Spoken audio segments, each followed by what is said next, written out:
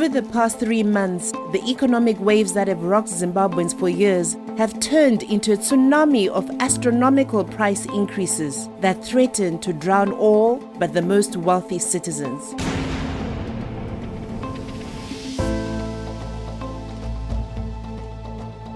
At the end of June 2022, a loaf of bread cost over 600 Zimbabwean dollars and 2 liters of cooking oil more than 3,000 local dollars.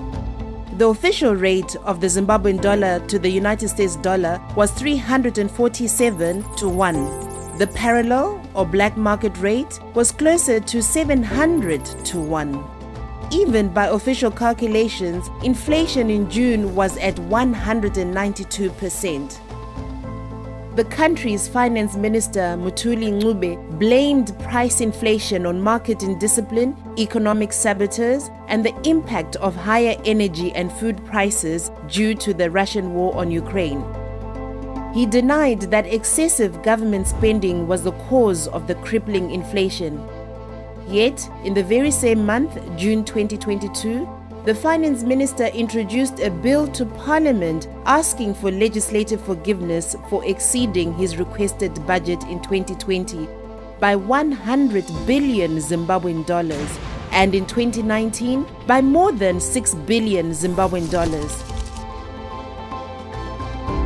At the official exchange rate that existed in those years, his financial excesses clocked in at over 1.2 billion dollars and 400 million United States dollars respectively. Zimbabwe's constitution states that if the Minister of Finance exceeds his stated budget, he must bring to Parliament a condonation bill no later than six weeks after the accounts have been finalized. The bill for the overspend for 2019 and 2020 was only brought to Parliament in the middle of June 2022. Minister Mthuli Ncube was therefore a year late for 2019 and two months late for 2020.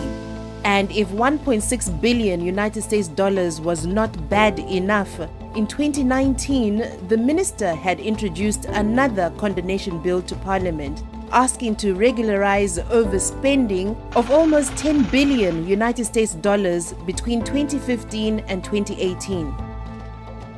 The bill was introduced in the National Assembly but expired before it could be considered. So that 10 billion blowout remains illegal with no ramifications for the man in charge of the nation's purse and no details as to what the money was spent on. If the minister overspent by 100 trillion Zimbabwean dollars in 2020, what did he spend outside his stated budgets in 2021 and 2022? Is it this fiscal indiscipline that is fueling inflation and sabotaging the economy?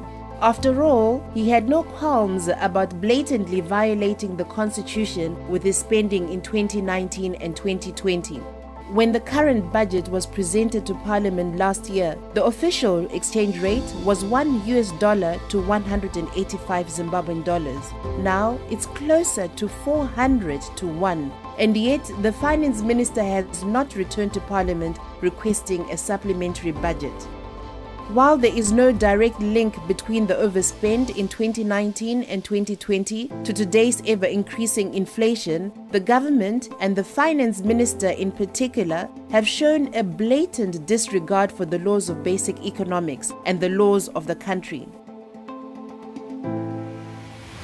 Economic fundamentals tie increased money supply to inflation. The government cannot create United States dollars, but it can create various forms of the local currency. More money devalues the local dollar, sending prices higher.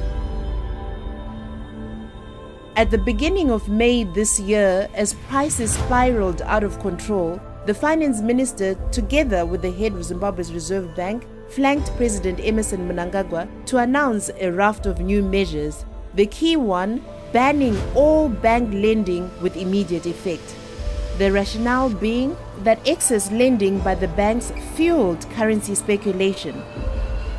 However, his announcement had the consequence of suspending all credit In addition to the economic chaos this presidential announcement caused, the measures had no legal instrument to back them, as the legislative think tank Veritas Zimbabwe noted.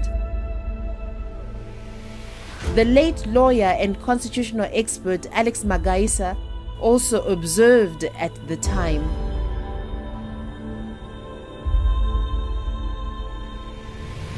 It took several days for the finance minister to publish, belatedly, the relevant statutory instruments to provide legitimacy to the illegal declarations, and within weeks, the new measures were abandoned, only to be followed at the end of June 2022 with a new announcement that interest rates were increasing from 80% to 200%.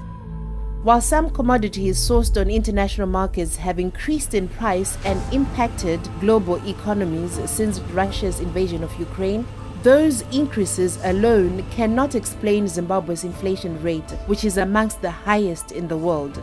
With general elections scheduled for 2023, the ruling ZANU-PF party cannot afford to introduce austerity measures to reduce inflation. Similarly, with the ruling elite used to free agricultural inputs, funding for pet projects, free international travel, and no financial oversight, they are not likely to curb their spendthrift habits. And with public sector nurses and doctors already on strike, claiming incapacitation due to low wages, it may only be a matter of time until they are joined by teachers and other civil servants. As the 2023 polls approach, if the ruling ZANU-PF hopes to stay in power after the votes have been counted, its choices are limited. It can consider deploying carrots or sticks. But any carrots aimed at increasing salaries in real terms or providing meaningful funding to health or education risk sending prices and the cost of living into the stratosphere and possibly sending citizens onto the streets. Without financial carrots to offer, ZANU PF is left with a stick a weapon it knows well.